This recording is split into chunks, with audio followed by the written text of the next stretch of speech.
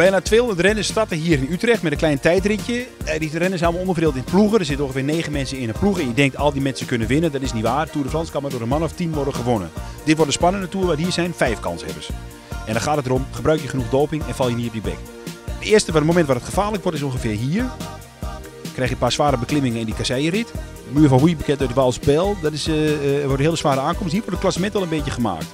En dan krijg je hier die kasseierrit. Daar zijn toerrenners altijd heel bang voor. Hè? Een kasseierrit, weet je wel, Cancellara kan het goed tombonen. Maar toerrenners, van die lichte mannetjes als Froome, die zijn hier het bangst voor. Dus wat je ook gaat doen, je moet zorgen dat je op 7 juli, dat je dan voor de televisie zit. Want dat wordt een fantastische rit. Daarbij maakt Lars Boom wellicht kans om deze etappe naar zich toe te trekken.